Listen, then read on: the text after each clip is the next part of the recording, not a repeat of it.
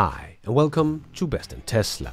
So, we got most of the numbers from the German automakers for 2022, and the trend for all of them is pretty much the same, and it's not looking good, as they cannot keep up with EV production with the high demand for EVs that is in Europe and China. I see no way they will come out of 2023 with the same size as they are in 2022, even though they fell in 2022. As they are falling in China big time, and China is going so fast toward EVs that Germans cannot keep up with the demand, and we can see that in their sales numbers from 2022.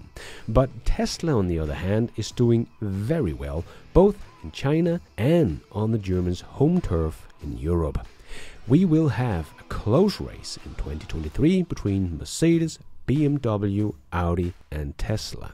Not who will make the most EVs, we already know that, but who will sell the most cars of any kind. Because Tesla is growing quickly while the others are collapsing in real time. So let's check it all out and let's dive right in.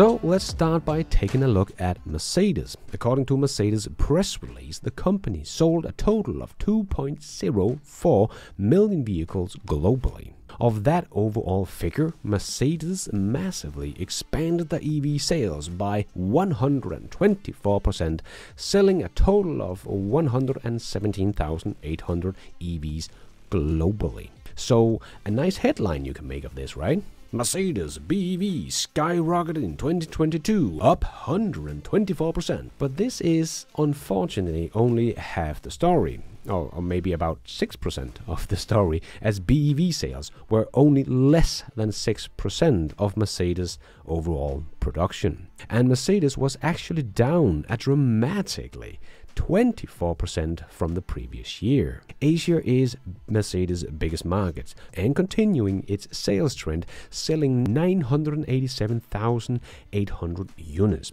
China, in particular, received the lion's share of those sales with 751,700 units. In comparison, Europe sold 635,100 units, North America sold 327,000 units, while the rest of the world only sold 94,000 units. And the trend will continue without a doubt, as we know China will probably end up with something like 30% BEV market share in 2023 if not more, and in Europe it is probably going to be about 25% or more, as December showed a 25% BEV market share in Europe. So, as that continues to rise, I think it's pretty safe to say the full year of 2023 in Europe is probably going to be close to 25% plus minus. But even if Mercedes doubled their sales again in 2023 of BEVs, that is only 235,600 units, so less than 12% share of their production. But if Europe is going to be 25% and China about 30%, probably more, Mercedes is going to miss by 13 and 18% respectively in those two markets. And as we have just seen, that is their two biggest markets by far. So if they're going to miss about 18% in China, that means Mercedes could end with a decrease in China of about 135,000 units and about 82,000 units in Europe, and probably down in the US as well, as they only sold about 12,000 BEVs in the US in all of 2022. So if we do some rough back of the napkin math, Mercedes could be up 100% in BEV sales again in 2023, but overall they could drop something like 230,000 units globally if Mercedes only get to about 12% BEVs.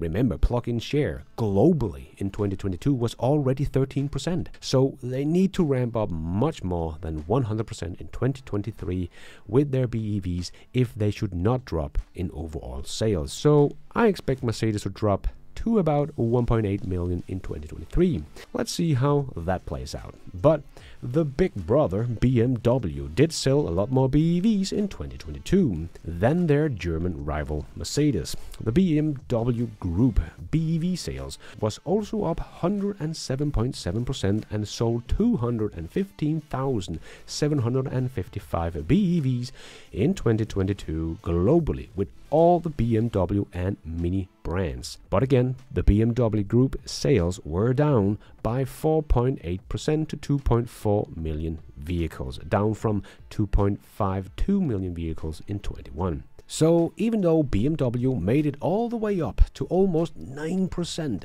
BEV shares, that was still not enough to counter the fall of the ICE sales.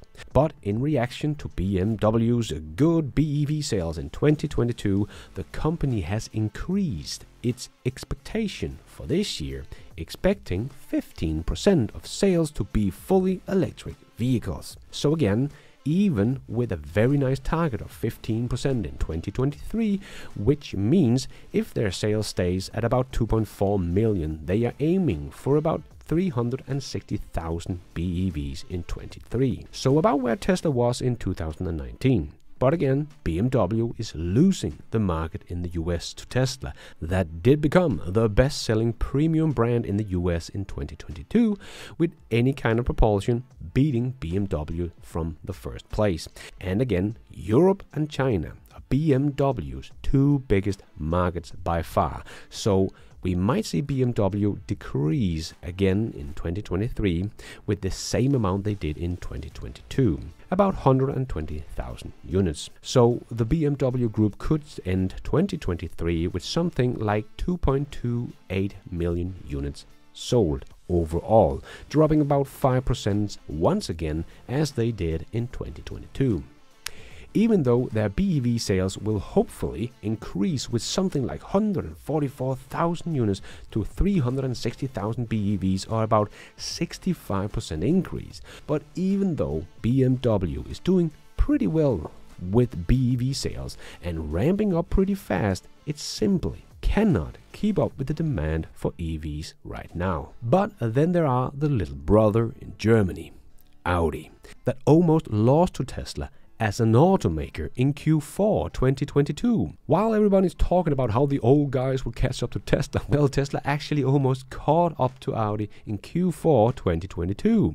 I made a video where I said we will see Tesla overtake Audi in 2023 and already here in Q1. But that was before we had the numbers for Q4 from Audi, and it turned out that Tesla was not far off from catching Audi in Q4 2022. Luckily for Audi, they had a great Q4 and reported that its global sales during the fourth quarter of 2022 increased 26% year over year. So that was good for Audi as it jumped their sales up from about 335,000 units to 420,000 units, just beating Tesla that sold 405,000 units, but produced 439,000 units. So Tesla and Audi are already neck and neck as car companies. But the story for Audi in 2022 is unfortunately still the same as for the other two Germans. Despite a strong Q4 2022, the brand sold almost 4% fewer cars than it did in 2021,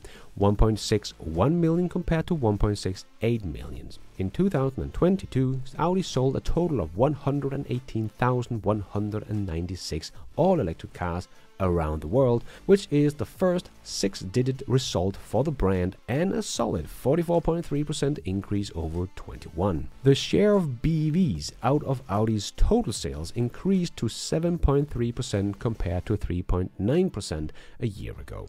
So, if they can grow with the same percentage again this year and add another 50% growth to their BEV sales, well, that would only be about 11% of their total sales of 2022. So, just like the other two German automakers, they are missing quite the percentage of BEVs to meet the demand for EVs. And again, China is their biggest market, and then comes Europe, just like the other two. So my guess is that Audi could fall to about 1.475 million in 23, even with EVs growing about 50%, but still not enough to meet demand. So the Germans will probably do okay in Europe in 2023 as most EVs goes in that direction despite not having enough EVs to meet the demand. But in China, the Germans have truly big trouble. As we can see here, in 2022, the Volkswagen brand only had 2.4% market share of the EV market, and BMW 0.8, Mercedes 0.3, and Audi only 0.1%. This is very troubling for the German automakers, as this is not just the biggest car market, this is their biggest market as well that is moving much faster towards EVs than anyone expected. In 2022, the EV sale almost doubled and sold 5.7 million pure electric vehicles, and all the Germans combined only stood for about 200,000 of those units. This is bad. Tesla sold more EVs in China in 2022 than all German automakers combined. Yes, Tesla is not the one having trouble in China. And the Chinese national pride of homemade electric vehicles is increasing. So it would be close to impossible for the German automakers to get anywhere near the same kind of volume and market share in the new electric market that is rising fast in China, and the ICE sales will probably be irrelevant in three to four years. This will truly hurt the good old German automakers and make them fall in size quite quickly over the next five years, as about 40% of their sales comes from China. So I have no doubt that Tesla will beat Audi in 2023. And we will see that already play out in Q1, as Audi's big fourth quarter in 2022 was 420,000 units. So I don't expect them to get that high in Q1, but I do expect Tesla to do something like 445,000 units as of now. But if Mercedes is really going to fall to about 1.8 million in 23, well, that is within Tesla's officially stated target. So that could be a really close race where I think Tesla has the best chance of winning. I personally think BMW is going to live one more year as a bigger car company as Tesla, as my prediction for Tesla as of now is about 2.185 units for 2023 and BMW about 2.2 8 million units. So a very close race, but I think BMW will take the crown this year as well. But that will also be the last year any of the German premium brands will be bigger than Tesla as an automaker. So, even though the Germans are growing their EV sales very fast and we get a lot of great headlines about how their BEVs are skyrocketing, well, it is simply not growing as fast as the EV adoption itself. So, as I said before, follow the trend lines, not the headlines, and we will be able to see what might play out. But no matter what, the Germans are not ready for this. As we can see if we look at the wait time in Germany for Germans EVs, 6 to 9 months to get some of their EVs. The Skoda Enyaq is even up to 24 months, two years you have to wait to get a Skoda Enyaq. This only shows us that they are not able to produce enough EVs. The demand is there, but their production is not. Skoda only sold about 12,000 Enyaqs last year in Germany, so it is not because they are producing them in high and big volumes. Tesla's Model Y sold about three times the amount of the Skoda Enyaq in Germany last year. They are simply not prepared for this EV demand with their suppliers and battery production and so on. And a lot can of course happen in 2023. It might be a very turbulent year, no one knows, but the trend lines are telling us that 2023 is going to be the year where Tesla overtook some of the German car companies in size. A very historical year we are about to witness. So, hope you're ready for one heck of a ride. And thank you for watching. And until next time, take care out there and be nice.